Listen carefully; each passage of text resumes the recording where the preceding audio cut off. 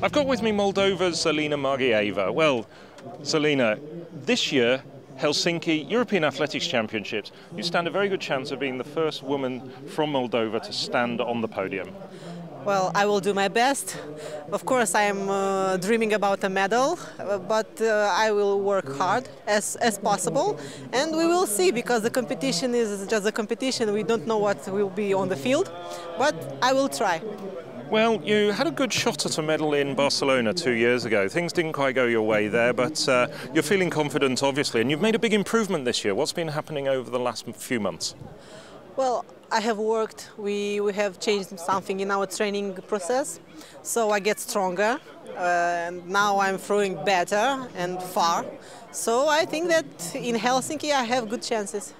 And of course, an awful lot of good women in the hammer are from Europe as well. We just need to think about the two most recent world record holders, Betty Heidler from Germany, Poland's Anita Wlodarczyk. I mean, it's going to be a fantastic competition.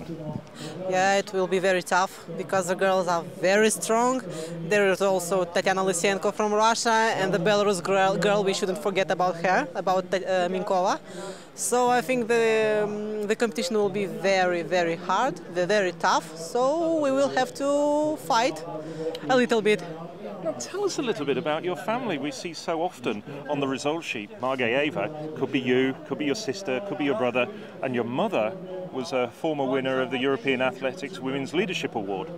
Yeah, it's it's kind of something uh, usual for me. We are five in uh, our family, so our father is our coach, all of us. So we all are doing the same uh, thing. We are in sport. We like it. Uh, my mother is just she's great because at her age and she still is working, still shows how, us how we should uh, train and what she should do. She's a record holder and that's great. My sister, she is not um, she is very strong too. She, she only has just to improve herself somewhere. She already had 71 30 meters, so it's a beginning. And my brother, he's the youngest.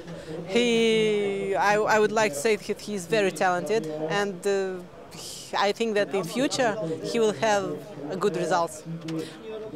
And tell me something else. I mean, why the hammer? Why did your father and mother take up the hammer? Obviously, that's been a big influence on you and your brother and sister. Uh, I'm joking because um, if, if our parents are hammer, I just couldn't go in ballet. It's just impossible.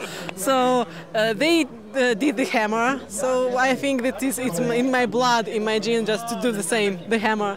But I will tell you, at the beginning, I just didn't like it. When I took it for the first time, I said, no, I will not do this. But then look at me now, I'm throwing hammer. you're throwing hammer indeed, and you're throwing it very far, and it'd be very nice to see the Moldovan flag being raised in Helsinki. Thank you very much indeed, Zalina. Thank you very much. Bye-bye.